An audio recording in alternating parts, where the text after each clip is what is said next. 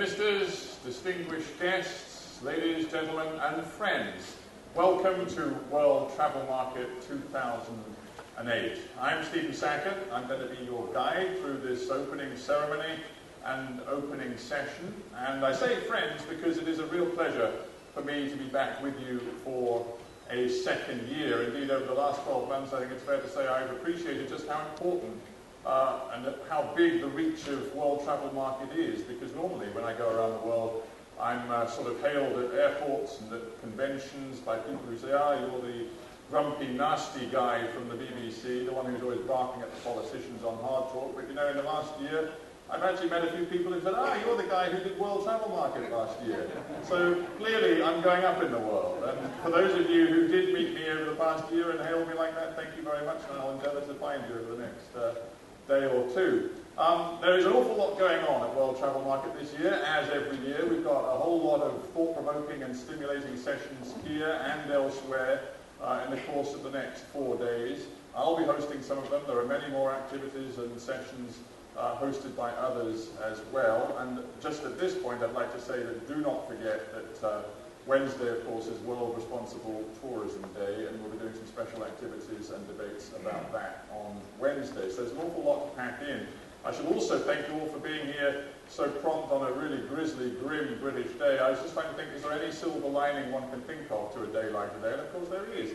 The reason that the British people are so obsessed and preoccupied with planning their next holiday is because the weather is so goddamn awful here. So I suppose there is one reason to be grateful Um, without further ado, it's my great uh, honour and privilege at this point to introduce to you somebody who is a familiar face to many of you. She's the architect of World Travel Market, if I can put it that way. Uh, she has spent so long making this event work over so many years, and I think she's owed a great deal of thanks for that. But I'm going to invite you all to give her a very warm welcome now. She is chairman of World Travel Market, that is Fiona Jeffrey. Fiona,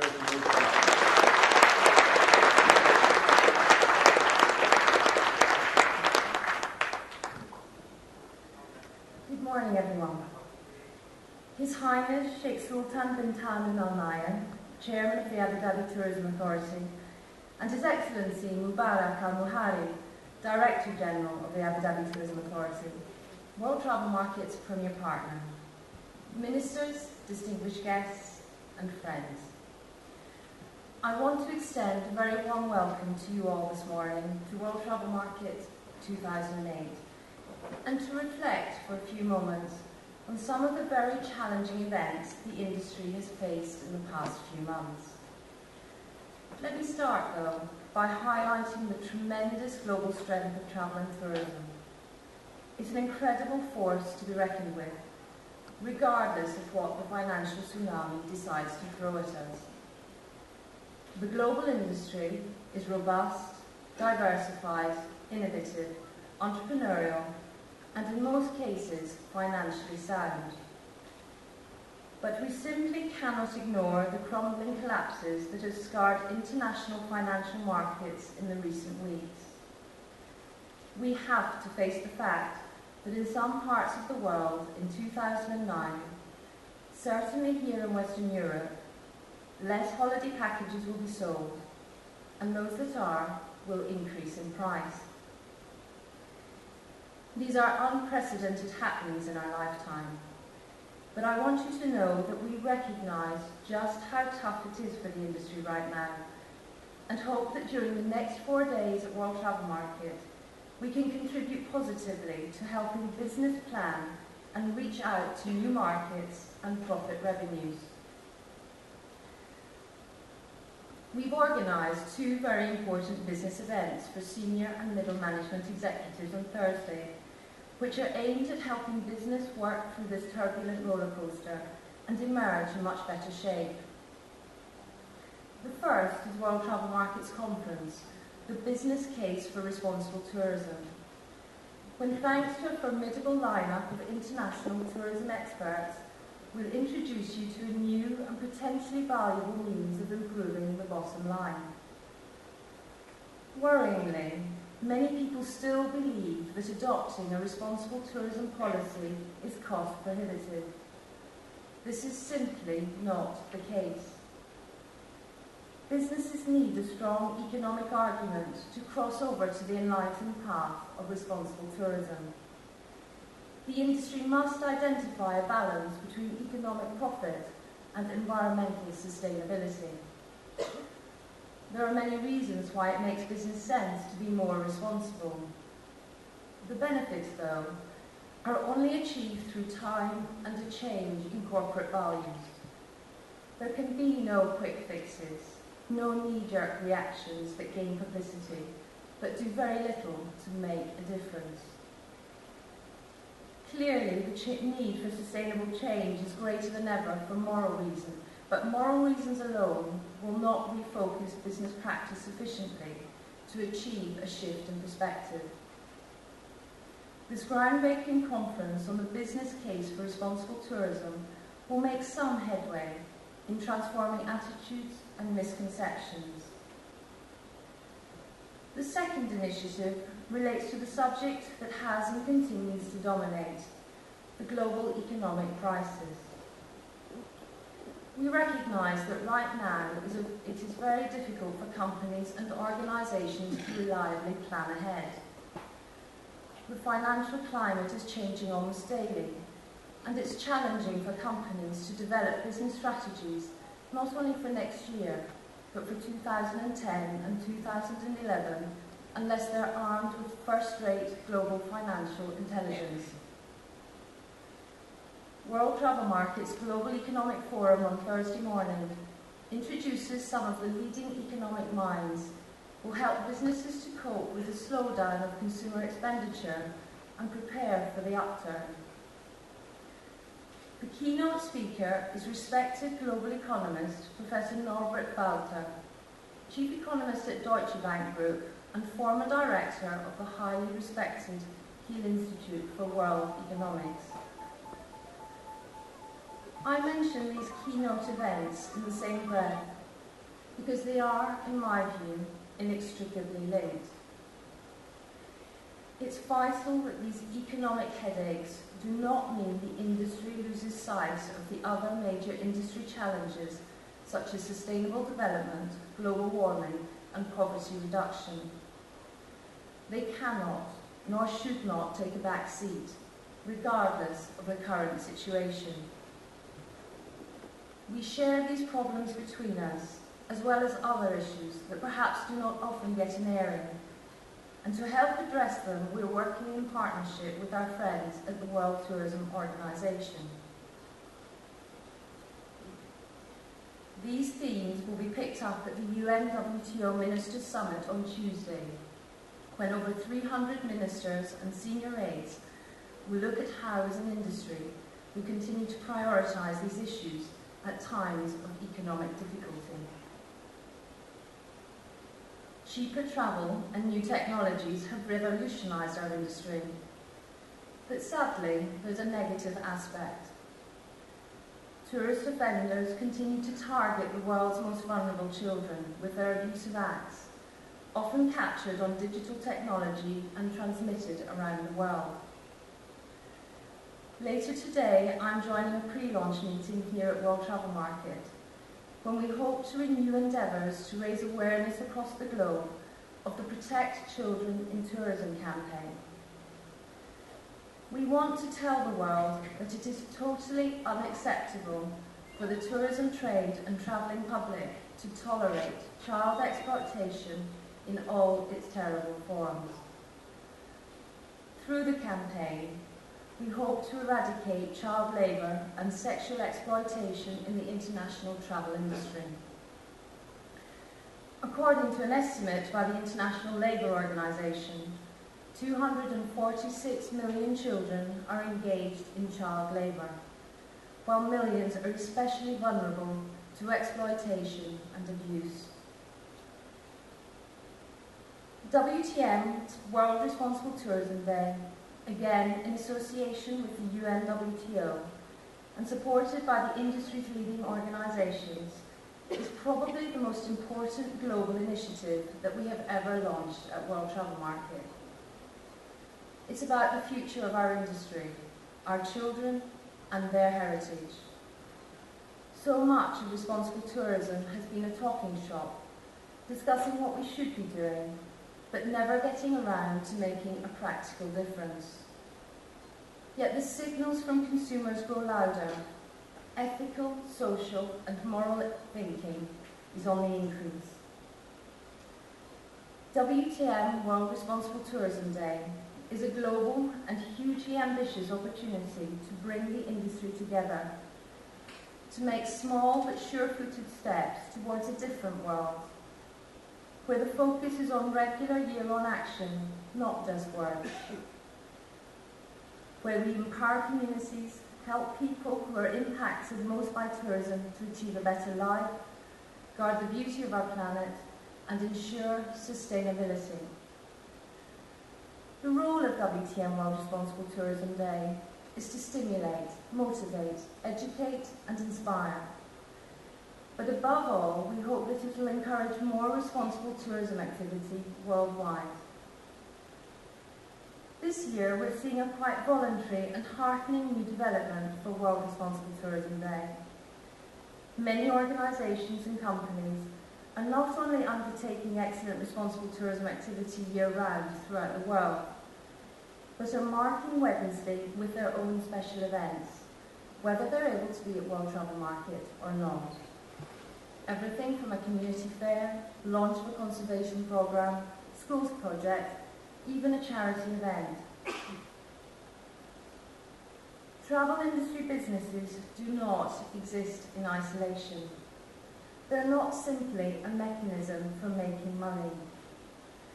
Employees are dependent on business. Customers, suppliers and the local community are all affected by what a company decides.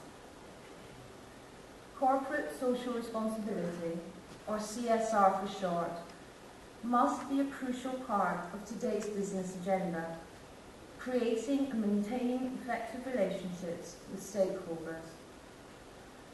Reed Exhibitions, for example, owners of World Travel Market, became an official supporter of Just a Drop this year, the WaterAid charity we founded on behalf of the industry 10 years ago.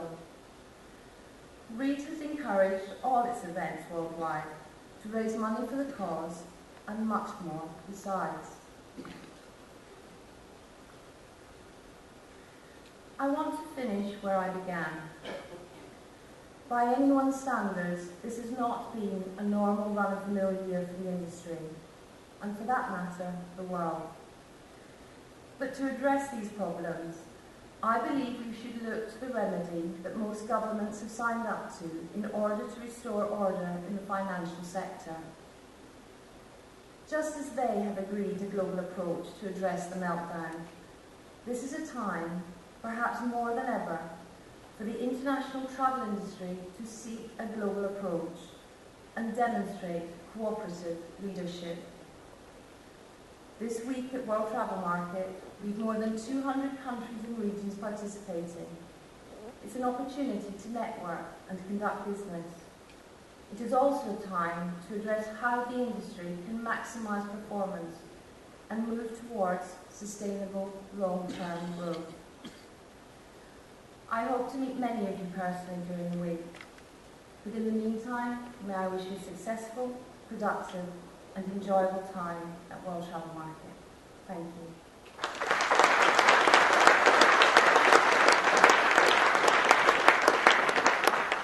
Thank you very much indeed to Fiona. She's very kindly agreed to stay here because we have the rather fun element of this opening ceremony now. We've got lots of awards to give away and to help Fiona uh, to give out the awards, uh, may I invite up onto the stage a gentleman who has been another key player behind the development of World Travel Market. That is the CEO of Reed Exhibitions UK, Alistair Gornall. Alistair, if you would come up here as well, please. So we have Fiona and Alistair here who are going to actually give away these wonderful awards. I don't know if you can see them. We've got these glass awards on the table to the side here. I'll just give you a little bit of a background on how this uh, award ceremony works and what it's all about. There are 10 awards here. We call them the WTM Global Awards. Uh, very highly coveted. I know just from talking on background to people that there are an awful lot of people in this room who fought very hard to win these things uh, and have put together wonderful programs of work across the world uh, to win them. Um, there are going to be 10, as I'll uh, explain. We're going to show video clips from uh, the winners to explain a little bit about why they've won and what they do in their various businesses around uh, the world. Um, we will also have a world uh, travel market photographer at the front here to capture the moment for posterity. So uh, that's roughly how it's going to work. Let's quickly go on to our first award, which is uh, from the Middle East. Um, our media partner in the Middle East who ha has kindly put forward the award is TTN, and our winner is the government of Oman. Oman, which has been developing its tourism industry in a discreet way, not building huge uh, cities, but subtly blending progress with a commitment to cultural and traditional heritage. So let's have a quick look at the video from Oman. Oman has always looked after the environment, gone for quality before quantity in the tourism it wants to attract. There are major projects being developed, but they're diverse and geographically spread out. The country's held on to its identity with an emphasis on ecotourism, cultural experiences, and adventure. This is far from the norm in the megacities exploding elsewhere in the Middle East. The Ras Al Scientific and Visitor Centre, for example, opened this year to teach travellers about endangered sea turtles, as well as to protect the 30,000 or so that arrive each year on local beaches to lay their eggs. So, very well done to Oman, and please welcome onto the stage now Kim Fletcher, Publishing Director of TTN Middle East, and Alison Cryer, who's Director of the Oman Tourist Office here in the UK and Ireland. If you would both come forward now, please.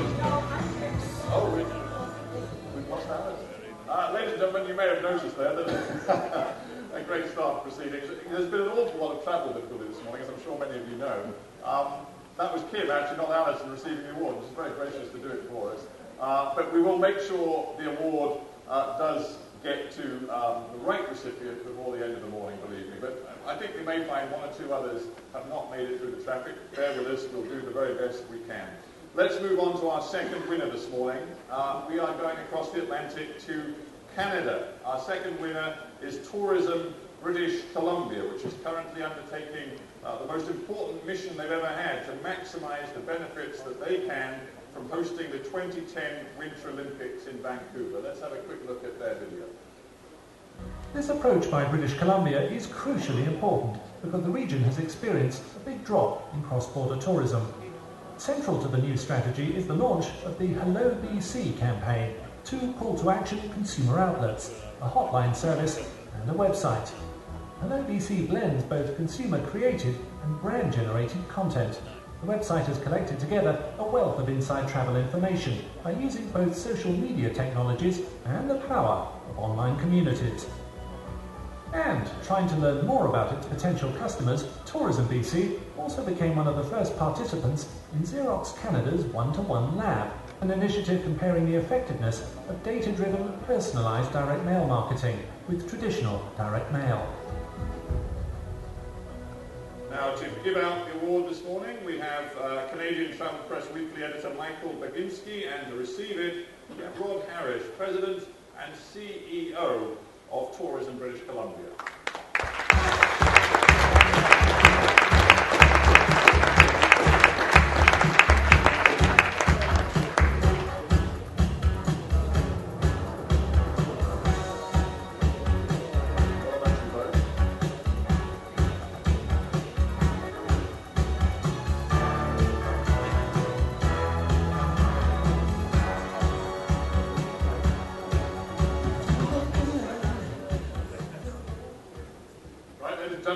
Number three, we're whizzing through uh, very efficiently this morning. And number three is uh, coming back to Europe. Our nominated winner, uh, nominated by the Spanish Global Media Network uh, member Editur, uh, it goes to the Port of Barcelona, which has experienced massive growth over recent years. And here's a little flavour of what they've been doing. Spain's main base for cruise liners, Barcelona has seen annual passenger numbers grow from just 100,000 in 1992 to what will be almost 2 million by the end of this year. 60% of them start or end their cruise in the city. This has proved crucial for the Catalan capital and a big contributor to the wider autonomous community. In Catalonia, visitors can find everything from beaches to mountains, from city life to the country, and of course, stunning architecture and art. This year alone, Catalonia has received 6% more German tourists than in 2007. The number of Scandinavians has increased by 15%, and of US visitors by 25%. Impressive numbers there from Barcelona. To receive the award, please welcome Carla Salvado, cruise manager of Barcelona's Port Authority.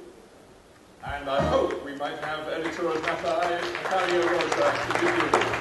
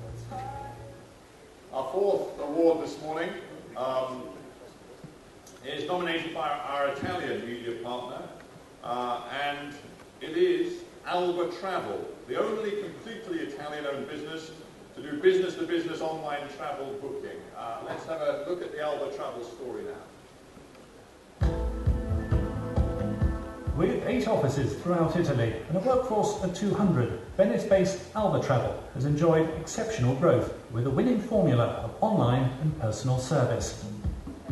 The arrival of Guy Luongo in the 1990s started a new era in the incoming travel group, owned by Aldo Fabrice. It became the first company in Italy to offer business-to-business hotel and travel online booking to more than 9,000 agencies across the country.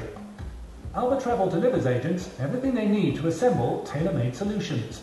Tours, travel insurance, rental vehicles and hotel rooms at that rate with minimum 12% commission. The company has direct contracts with 4,500 hotels in Italy or the rest of Europe, as well as dealing with almost 50,000 others all around the world. To present the award to Alba Travel, we have Cristina Ambrosini, publisher of Italia's L'Agenzia di Viaggi, and to receive the award, Mr. Guy Luongo,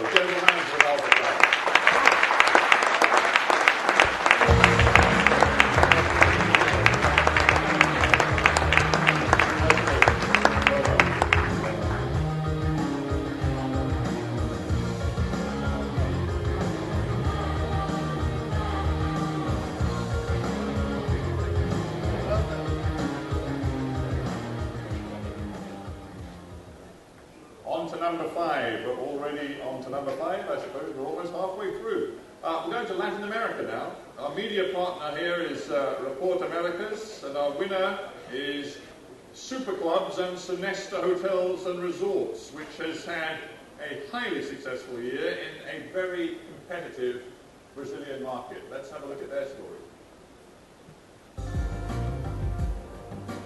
Superclubs and Sonesta Hotels and Resorts has undertaken a highly successful and structured expansion this year. The team has attended every trade show in the region, promoting its service through aggressive advertising and presentations in a number of different countries.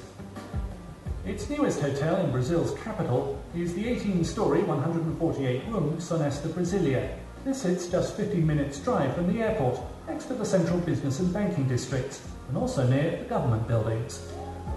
The company also runs one of the newest Sao Paulo hotels, the Sonesta Sao Paulo Ibirapuera, which offers four-star luxury in a fashionable neighbourhood. Ladies and gentlemen, please welcome to the stage Super Clubs and Sonesta Hotels and Resorts, Mr. Paul Pennicook, uh, with Maureen Wingham from Report Americas. Please both come to the stage.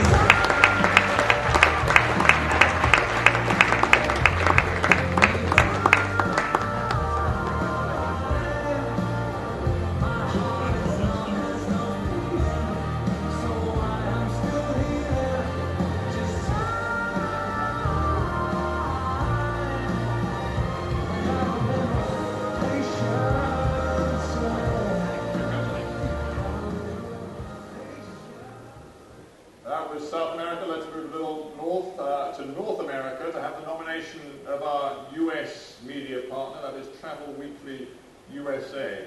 Uh, and the winner uh, for this category is Micato Safaris, a tour operator focused on destinations in East Africa, Southern Africa, and India. Also, very importantly, funding a non-profit foundation dedicated to helping uh, some of the poorest people in Nairobi, Kenya. Let's have a look at some of their work.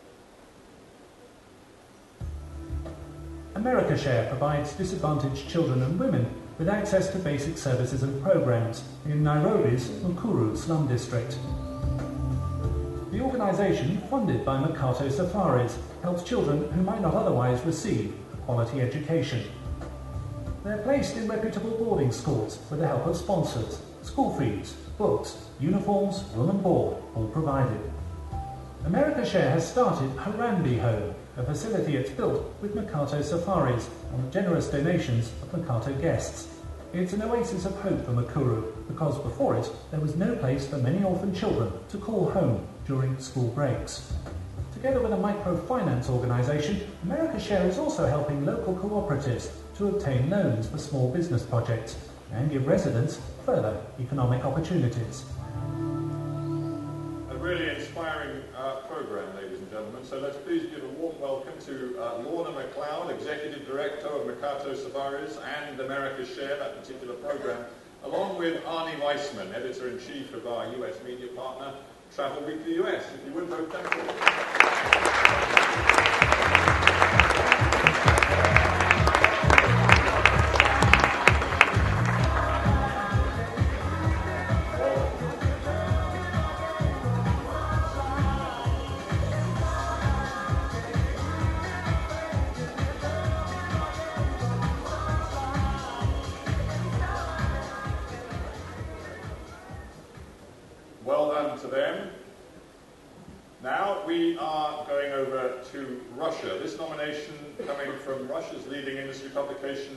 Uh, Tour Business, and it goes to Lanta Tour Voyage, um, a pioneering company which has turned itself into one of uh, Russia's biggest tour operators in 17 years of operations. So let's have a look at what they do. Voyage provides a full range of travel services to more than 24 world destinations, including Great Britain, France, Italy, the Czech Republic, Austria, Croatia, Bulgaria, Greece, Turkey, the United Arab Emirates, Tunisia, India, Indonesia, Malaysia, Vietnam, Thailand, China, and the United States. The company, which has its own online reservation system for travel packages, is Russia's top cruise operator one of the country's leading ski operators, processing a phenomenal 15,000 group and individual bookings every day. Ladies and gentlemen, to receive the award, please welcome Lanta Tour Voyages Ludmila Puchkova and Ivan Kalashnikov, publisher of Tour Business.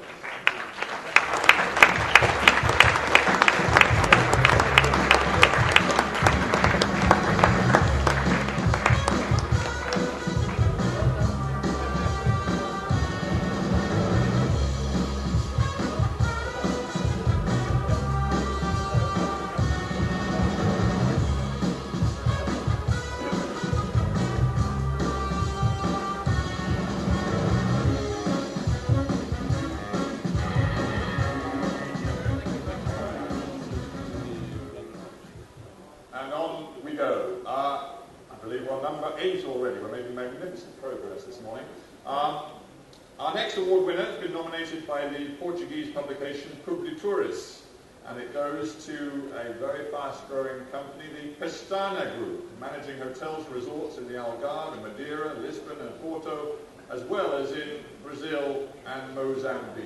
Here's something more about that. Over 30 years, the Pestana Group has been making a structured and sustained investment in the hotel and tourism sector with the Pestana Hotels and Resorts chain. Development is continuing at an impressive pace. With two brands and 85 hotels, the group is now developing three more Pousadas, as well as other hotels in Portugal, Great Britain, and Brazil, timeshare establishments, golf courses, tourism property agencies, casinos, a charter airline company, three tourism operations, and a travel agency. The Pestana Group has 6,000 employees all over the world. So, a very rapidly growing company. Now, I'm warned that he might not be here, but I hope uh, Ruben Obadia is here from Publituris to present the award. And of course, to receive the award, we're delighted to have a member of the Pestana family, Dionisio Pestana, CEO of the Pestana Group. So, gentlemen, please come forward.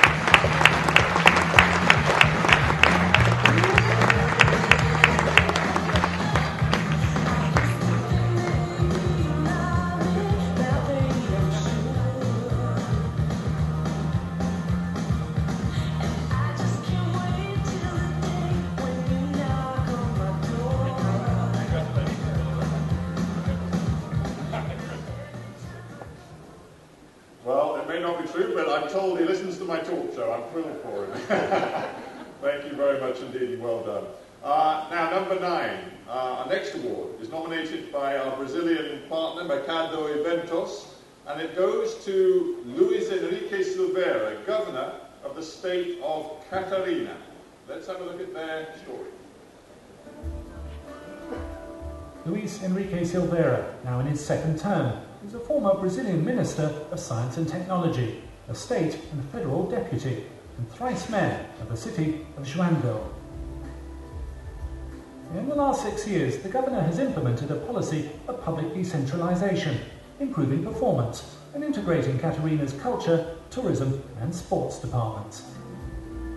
Santa Catarina is today a sophisticated and successful destination, not only because of its natural beauty and culture, but also because of the vital role played by tourism.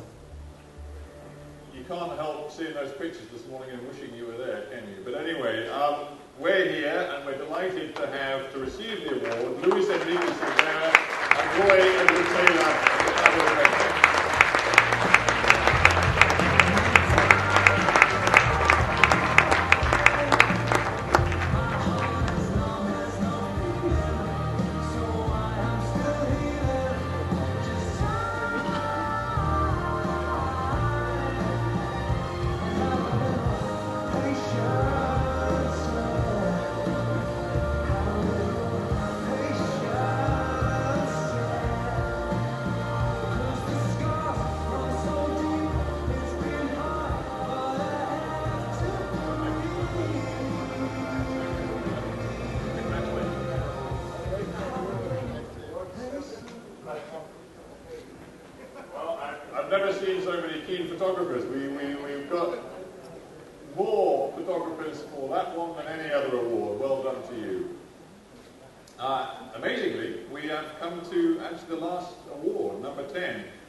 The final one this morning has been nominated by the leading industry uh, publication in Asia, TravTalk, and it goes to Peter Kerkar, CEO of Cox and Kings India.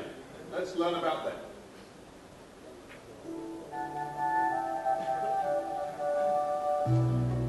This accolade is not about me, but a tribute to all the staff, past and present, who have made Cox and Kings a tremendous success for the past 250 years. And over those last two and a half centuries, some things haven't changed at Cox and Kings. Our commitment to service, our commitment to making dream holidays for millions of Indians in the subcontinent and beyond. Today, Cox and Kings has over 40 offices in India and over 1,500 proud and dedicated employees worldwide. I wish to thank each and every one of them for keeping our wonderful tradition alive and making Cox and Kings the great company that it is today. And he's here with us today, so a very warm welcome for Peter Kerkar, CEO of Cox and Kings, and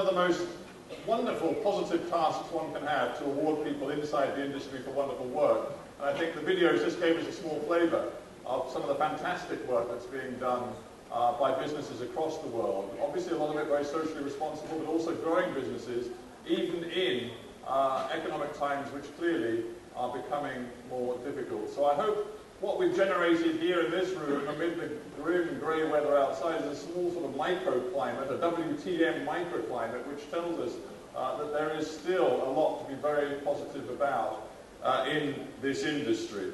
Um, ladies and gentlemen, it just at this point remain, remains to me to wish you all a, a, really stimulating and a wonderful week amongst the exhibits, amongst the discussions and talks that Fiona talked about that are going to take place over the next uh, several days. Um, enjoy it all. I know there's an awful lot to get around and to see. You're going to need a lot of energy over the next few days. Uh, please do take time out to learn more about World Responsible Tourism Day. Uh, Wednesday, of course, and we'll be talking a whole lot more about that. Don't forget that right next door, as soon as you leave this room, you are invited to a reception just over there. You don't have to walk too far. Uh, so please do go and enjoy a drink uh, and some chat uh, with colleagues at the, at the reception. Uh, enjoy the week. And from me, thank you very much for your patience. And for now, goodbye. Thank you very much.